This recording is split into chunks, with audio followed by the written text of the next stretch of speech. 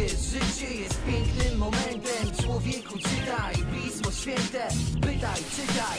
Weź do ręki Żywe słowo, te święte księgi Do wyprostowania są drogi kręte. Człowieku czytaj Pismo Święte. W dzisiejsze święto Chrztu Pańskiego kończymy radosny okres Bożego Narodzenia.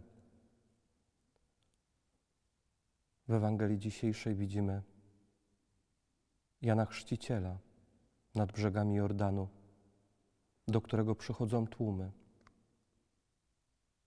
Przychodzi również Jezus. I tak jak ludzie przyjmuje chrzest. Jan chrzci wodą, pokazuje ludzkie działanie. Ale my, jako ochrzczeni, wiemy, że sakrament Chrztu Świętego powoduje to, by w naszym życiu działał sam Bóg. Ewangelia dzisiejsza ukazuje całą Trójcę Świętą. Boga Ojca, który potwierdza, że Jezus jest Synem Bożym. Mówiąc te słowa, to jest mój Syn umiłowany. W Tobie mam upodobanie. Mamy Jezusa Chrystusa, który ten chrzest przyjmuje. I mamy Ducha Świętego, który ukazany jest pod postacią gołębicy. To kolejne potwierdzenie,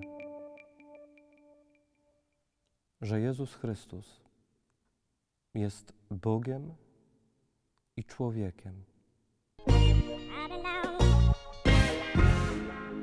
Rzeka Jordan przypomina nam o chrzcie Chrystusa. O moim i Twoim chrzcie przypominają chrzcielnice w naszych świątyniach. To tutaj każdy z nas usłyszał te słowa, które usłyszał również Jezus i Jan Chrzciciel i wszyscy obecni. Jesteś moim umiłowanym synem. Jesteś moją umiłowaną córką. Jesteśmy dziećmi Bożymi od momentu Chrztu Świętego, bowiem wtedy jesteśmy włączeni we wspólnotę Kościoła. Jakie jest nasze dzieciństwo? Czy ktoś, kto patrzy na nas, widzi nasze zachowanie, słyszy nasze słowa, może powiedzieć, że rzeczywiście jest to dziecięctwo Boże. Oby tak było. Warto dzisiaj przypomnieć sobie, chociażby zerkając na album ze zdjęciami, moment naszego chrztu. Warto dzisiaj podziękować za rodziców, rodziców chrzestnych, pomodlić się za nich.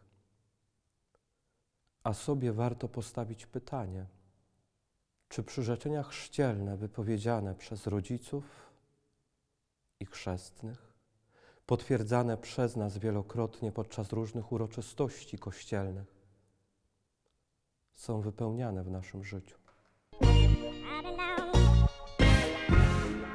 Bożonarodzeniowa szopka ukazuje nam Dziecię Jezus.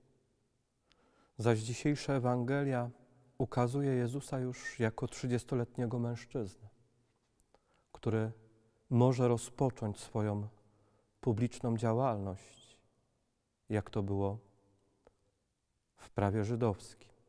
My dorastając, pogłębiamy naszą wiarę, uczymy się jej, przybliżamy się do Pana Boga.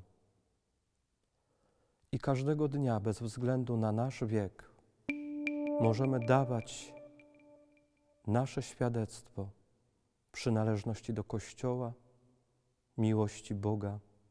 Możemy dawać świadectwo życia Ewangelią, którą głosił Syn Boży, chodząc po Ziemi Świętej. To wszystko będzie wypełnianiem naszych zobowiązań chrzcielnych, byśmy rzeczywiście nie zmarnowali tego daru, jakim jest chrzest święty. Dzięki Bogu Trójjedynemu, Bogu Ojcu, który nas umacnia przez swojego Syna, który umacnia przez Ducha Świętego i podpowiada, jak żyć. Jezus przyszedł nie po to, żeby wymagać od nas wypełniania Ewangelii, ale Jezus przyszedł po to, żeby wejść w naszą codzienność i nam błogosławić, by wspierać nas w każdym momencie naszego życia. Nie zmarnujmy tego. Na dzisiejsze świętowanie Chrztu Pańskiego i na każdy kolejny dzień Waszego życia niech Was błogosławi Bóg Wszechmogący, Ojciec i Syn i Duch Święty. Amen. Uwierz, życie jest pięknym momentem Człowieku czytaj Pismo Święte Pytaj, czytaj, weź do ręki Żywe słowo te święte księgi